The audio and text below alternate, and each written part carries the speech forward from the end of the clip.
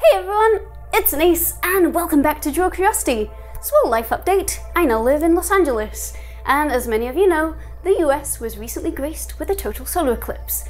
So I thought it would be pretty nice to go and see that in person and join the 1 in 10,000 exclusive club of people who have witnessed a total solar eclipse. Of course, I was absolutely on the wrong side of the country, so I did embark on one of the most American of activities to rectify that. A road trip all the way from California over to Texas. So come join me.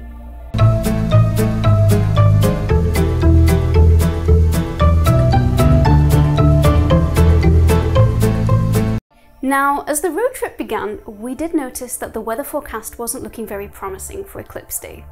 In fact, it seemed like there were going to be storm clouds forming that afternoon over the entire path of totality, from Canada all the way down to Mexico.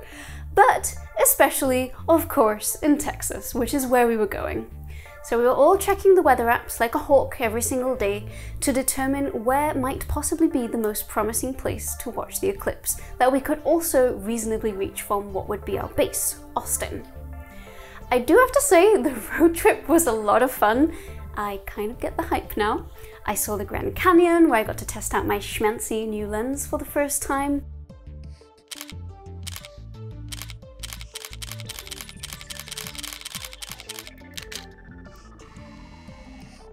Also stopped by White Sands and Roswell, where I checked out the UFO Museum.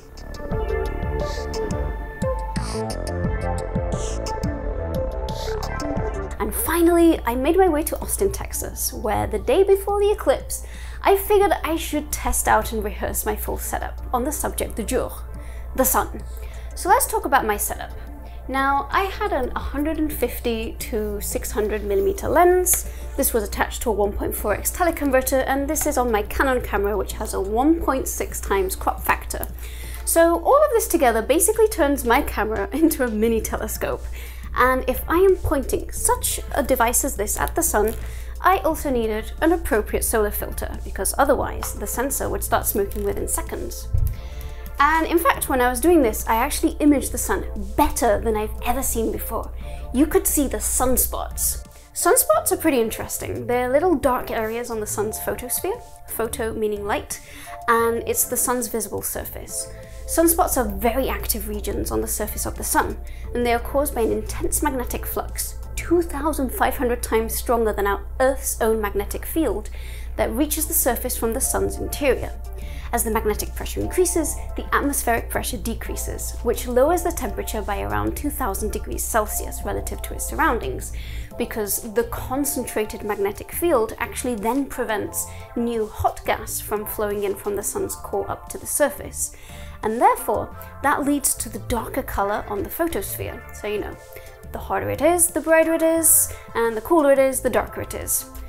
Some sunspots are really short-lived, they only last a few hours to days, and then there are others that actually last for a really long time, even up to several months. So there are some sunspots here, the tiny ones could be new, the big one could be more mature, I don't actually know. I tried looking it up, but I couldn't find out. And the sun actually goes through an 11 year solar cycle where its magnetic field flips, and that means that the North and the South Pole switch places. And during this time, it oscillates between a very active and stormy surface where many sunspots may be observed a day to a much quieter phase where very little activity may be observed at all over a very extended period of time. And this is important because even seemingly small changes in sun activity are known to have effects on Earth's climate.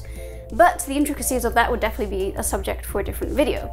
Now the reason everyone was really, really, really excited about this year's eclipse was because it falls during a period of high solar activity.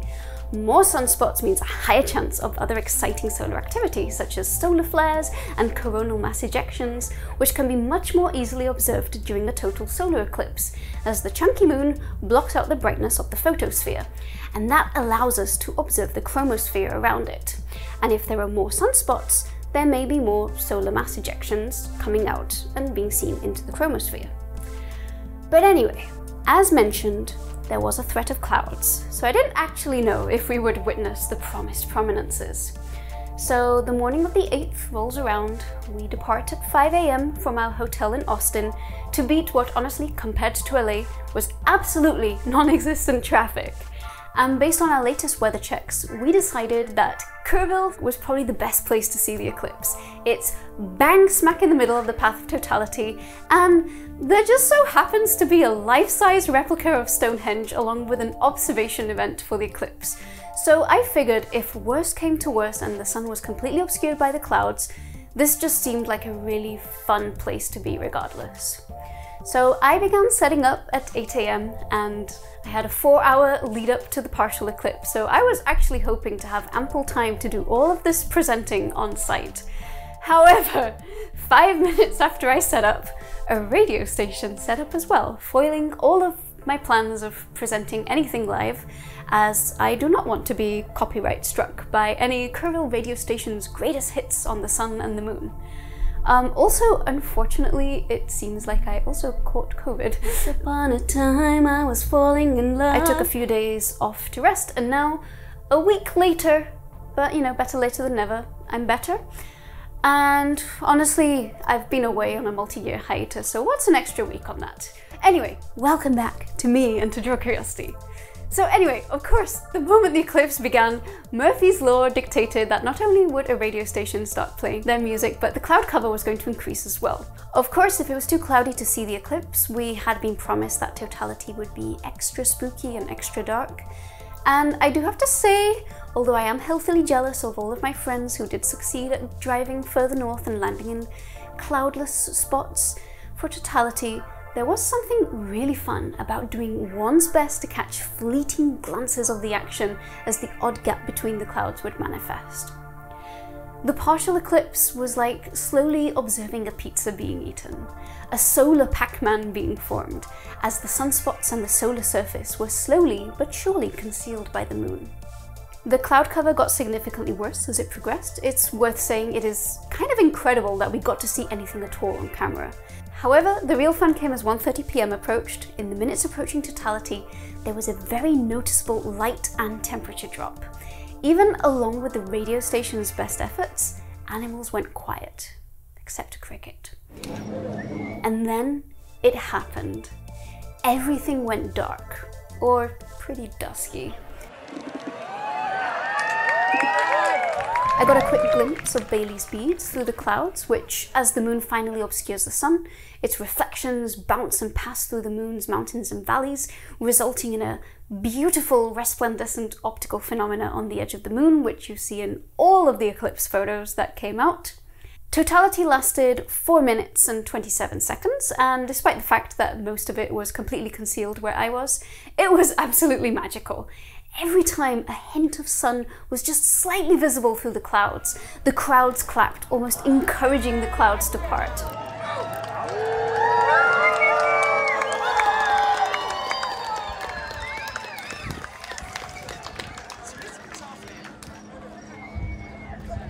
Apparently, this is actually a documented meteorological phenomena. Low-level clouds are actually known to dissipate during a solar eclipse. Once about 15% of the sun is blocked and the temperature has dropped by around 6 degrees Celsius, low-level cloud cover drops by a factor of 4, which obviously can lead to better visibility.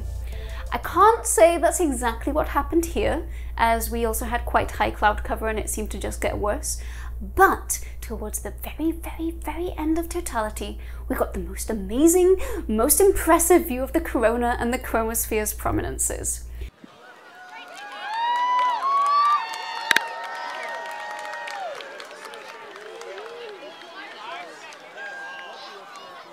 I talked about the photosphere earlier being the sun's visible surface. The chromosphere is the layer directly above, found beneath the sun's upper atmosphere, and extends out for around 2,000 kilometers. When the brightness of the photosphere is conveniently blocked by our friend the moon, the hues and colors of the chromosphere come through to us humble observers on Earth. The powerful magnetic fields beneath force prominences and arches of looping plasma out into the chromosphere, emitting the characteristic red color. And if you're curious why it's red, it's because the vast majority of these emissions are hydrogen atoms.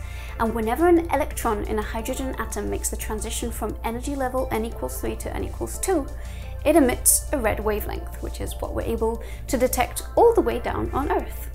And right at the end of totality, we once again got a brief flash of Bailey's beads returning behind the clouds, and almost as if nothing had happened at all, the lights came back on, and we all resumed life as it was before, but with the unique experience of having witnessed totality.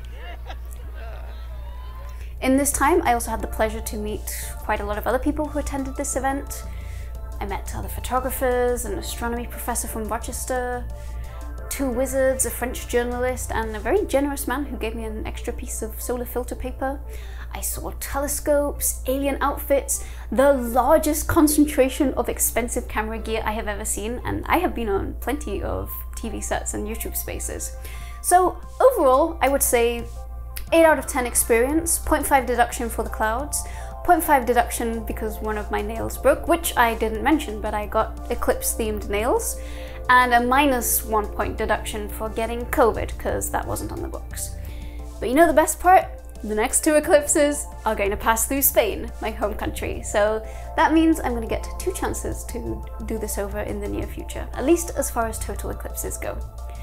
Anyway, it's really nice to be back. I haven't made a video in such a long time. I've been plotting my return for a while, but I know I've been dragging my heels to coming back and making videos, so I guess it just took a solar eclipse to get me back here. Now hopefully you're thinking, oh wow, we missed you and your videos so much, Inés. How long will it be till the next one? And the answer is, if you're a Nebula subscriber, there is already a new video from me.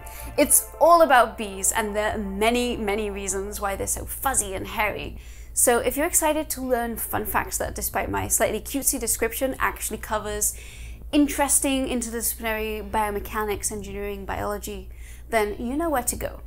Will that video come to YouTube though? The answer is yes, but not so soon. The video that you just saw actually went up at the end of April, so that will give you an idea of my turnover rate. So I'm going to be uploading following the Nebula First formula. That means that all of my new videos will go on Nebula first. Then, when I make a second video that goes up on Nebula, that first video then becomes available on YouTube. So if you want to be the first to see my new videos, then please feel free to support me over on Nebula. Now, if you don't know what Nebula is, you might have seen me do sponsor reads for it before. It's a platform for indie creators by creators that is actually invested in supporting high quality content and the people who make it. So a Nebula subscription not only goes towards directly supporting creators like me with an ad-free platform, and that means you won't be getting reads like this in the video, but it also provides access to additional and exclusive content such as Nebula Originals, and content that is exclusively produced on Nebula, such as everything that Lindsay Ellis produces. So if you would like to access Nebula and see my next video about bees right away, um, you can use my code, which will give you a 40% off discount. And you can do that by going to go.nebula.tv forward slash Curiosity. Also, before you go, I have two further announcements. Firstly, I created a Twitch account, twitch.tv forward slash Curiosity. I can't believe I did this. I soft launched it on my Instagram and Patreon over the last month, and turns out I really enjoy streaming, so if you want even more Inés content in between videos, you can catch me over there. I'm doing a lot of co-working streams during the weekdays, um, and then the odd chatty streams during my evenings. I am probably going to be hosting one 48 hours or so after posting new videos, so check the pinned comment to find out when the next one of these streamed is scheduled for, because it will be great to see more people there. And finally, I have revamped my Discord server, and you are invited to join. So that is all. Back to me from the past. And as ever, I want to say thank you so much to my Patreons on Patreon, who I hope are very delighted to see the return of Draw Curiosity, um, to my road trip mates, Ian, Darren, and Dean, who helped planning the trip and capturing the footage and all of the fun adventures that we had along the way. And of course, thanks to you for clicking and watching all the way for the end. It's really appreciated, especially after such a long time not making videos. And as always, thank you so much for watching me, and I'll see you in the next one.